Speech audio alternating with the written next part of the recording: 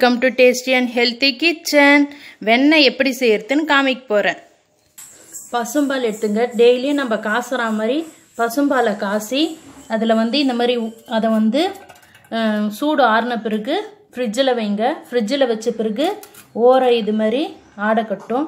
இந்த ஆடையெல்லாம் சேர்த்து வைங்க. சேர்த்து ஃப்ரீசரில் ஃப்ரீ எடுத்து ஃப்ரீசரில் ஃப்ரீசரில் வைங்க. நான் இந்த ஆடை வந்து நான் ஒரு மாதம் சேர்த்து வச்ச ஆடை. இந்த ஆடையை வந்து நம்ம வந்து நைட்டு ஃபுல்லாக வந்து வெளியில் வைக்க போகிறோம் வெளில வச்சோன்னா அது என்னாகும்? தண்ணி அந்த மாதிரி ஆகும். முதல்ல இந்த ஆடையை வந்து வெளியிலே வைங்க. அப்படி இல்லை நீங்கள் மார்னிங் செய்கிறீங்கன்னா ஒரு அஞ்சு மணி நேரம் இந்த ஆடையை ஃப்ரீசர்லேருந்து எடுத்து வெளில வைங்க. வச்சு பாருங்கள் அந்த பாலடெல்லாம் வந்து நல்லா இதுவாயிடுச்சு.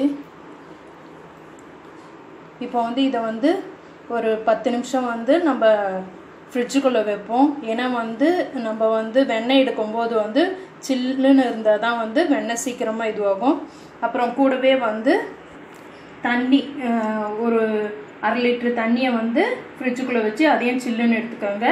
அப்புறம் நம்ம வந்து மிக்சியில் தான் போட்டு வெண்ணெய் எடுக்க போகிறோம் அதனால் வந்து மிக்ஸி ஜார் எந்த மிக்ஸி ஜார் நீங்கள் எடுக்கிறீங்களோ அதையும் வந்து ஒரு ஒரு கால் மணி நேரம் வச்சு எடுத்துக்கோங்க.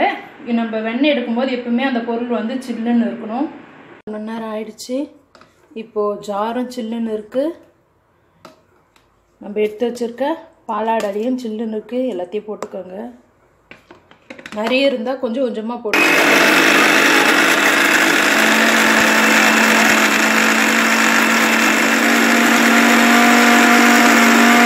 பாருங்க நல்லா அடிச்சிட்டோம்.